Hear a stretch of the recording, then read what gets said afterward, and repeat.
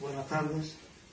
Aquí nos encontramos en la institución El Cebre, una institución de salud perteneciente al SAS, que es el sistema de atención a los servicios de salud de Andorra.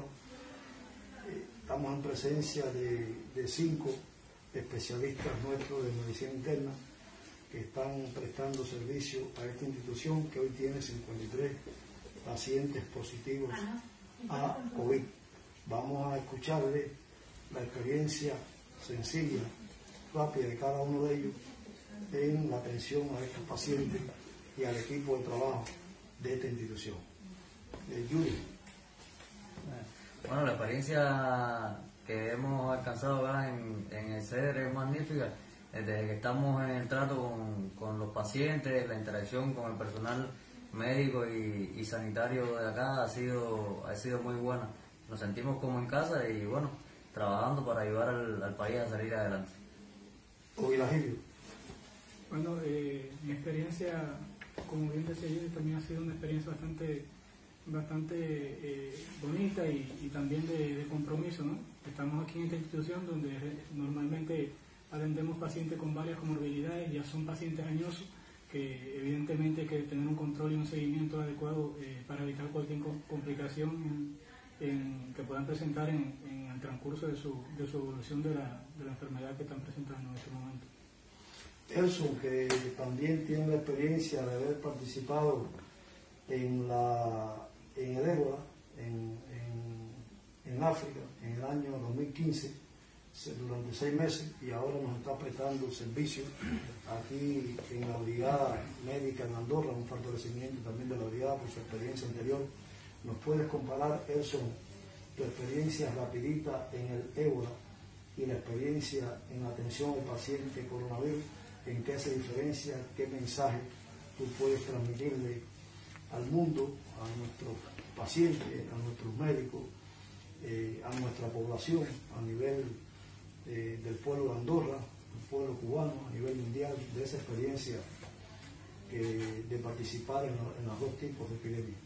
Bueno, eh, lo primero es lo referente a cada tipo de, de infección, es decir, de cada tipo de infección viral. En primer lugar, el ébola era un, era un virus que era eh, un poco, era menos contagioso que el, que el, que el COVID, es decir, que el SARS-CoV-2, eh, pero tenía una mortalidad mucho más alta. En, ese, en, en aquel momento usábamos eh, un equipo de protección individual con, con, un nivel de bioseguridad 4, 3, es decir, un nivel de contención 3 Aquí usamos un nivel de contención 2, ya que la epidemia, eh, es decir, el, el SARS-CoV-2, a, pesar de ser eh, un poco más contagioso, es decir, es más contagioso porque se, se, tra se, se transmite por, por microgotas y, sin embargo, el ébola se transmitía por contacto con las secreciones y con los fluidos corporales. De todas formas, eh, este, este, este virus es mucho menos letal que el ébola, es decir, una, una, una mortalidad de un 90% con una de aproximadamente entre el 3 y el 5%.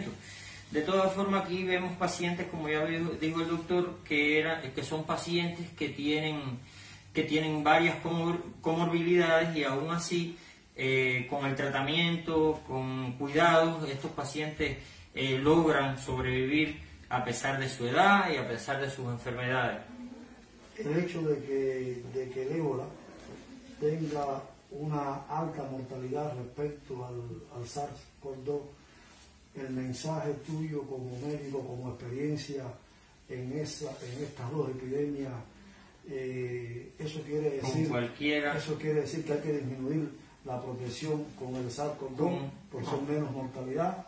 En realidad, el mensaje que hay que, que, hay que, que emitir es que las personas deben cuidarse, deben protegerla y deben tomar todas las medidas que eh, indican las, las, autoridades sanitarias de cada, de cada país y de cada región en que se encuentre. O sea, porque es un virus mucho más contagioso. Es mucho más contagioso. Mucho más y, epidémico, mucho y más es. Exacto. Y es verdad que afecta, eh, afecta más a las, a, los, a las personas de edad avanzada, pero eso no quiere decir que una persona joven se infecte que se agrave y que, y que pueda tener al- algún peligro para la vida. Doctor, y su experiencia de trabajo en esta institución, ¿cómo usted ve su, su compenetración con el personal sanitario de aquí de la institución, con el personal de Andorra, cómo lo han atendido, cómo usted se siente Sí, en la doctor. institución? Una experiencia muy bonita e importante, ya que junto a los profesionales de Andorra eh, hemos logrado una buena presentación y con ello eh, tratar de mejorar la incidencia de, de este, de esta virosis tan terrible. Hasta ahora bien y dando lo que podamos para, para echar para adelante.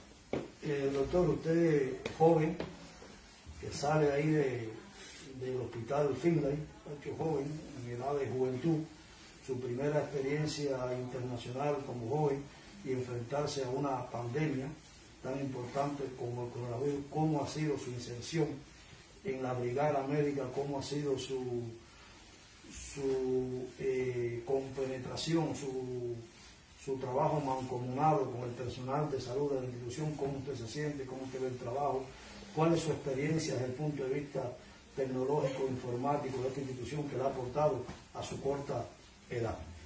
Yo creo que es el sentir de todos los jóvenes que o nos sentimos bien.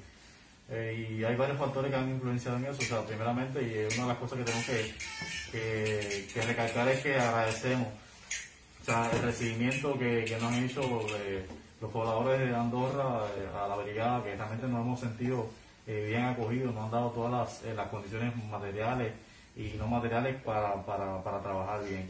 Eso incluye también al personal médico que también nos ha asesorado, porque eh, siempre es, es algo difícil cuando un médico de, de un país va a otro país a insertarse en el sistema de salud de, de ese país eh, extranjero. Y por tanto, eh, nos hemos sentido acompañados en el desarrollo de esta misión. Y nos sentimos bien también por, por, por, por supuesto, pues, hermano. por supuesto por la labor que estamos realizando. En este caso, como ya habían dicho ya el resto de mis compañeros, estamos trabajando en un, en en un centro donde estamos trabajando con un personal que es eh, el personal más frágil que puede haber en este, en este principado, porque es, es personal anciano, son las personas de la tercera edad que tienen varias comorbilidades, que son pacientes frágiles y que, y que realmente eh, requieren una atención multidisciplinaria para lograr una recuperación. Así que nos sentimos bien por, por, por la acogida que hemos tenido y por la labor tan importante que estamos realizando aquí en. Bueno, eh, acabamos de escuchar la experiencia de cinco especialistas nuestros en medicina interna en la institución El Cedri, el doctor Julio Vilagilio, Elson Castillo y Juan Francisco.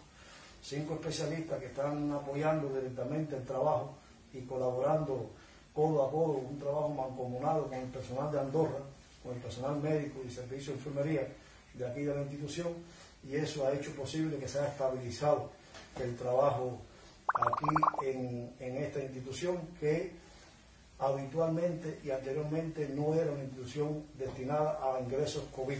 Con la pandemia se previó y ahora se está ingresando un número importante de pacientes COVID positivos y esto ha hecho que estos especialistas cubanos ayuden al trabajo eh, mantenido lineal y sostenido de esta institución. Gracias a ustedes y bueno, le damos eh, la oportunidad de ir ahora para los pacientes y seguir trabajando en el resto del día. ¿De acuerdo? Un mensaje al pueblo de Cuba. ¡Viva Cuba! ¡Viva! ¡Viva Andorra! ¡Viva!